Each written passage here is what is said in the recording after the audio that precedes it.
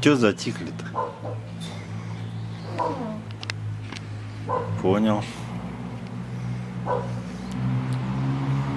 Машенька.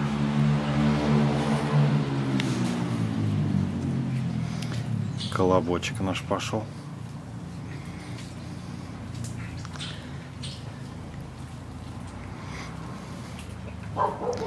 Че, говорит, Мишка, кушаешь?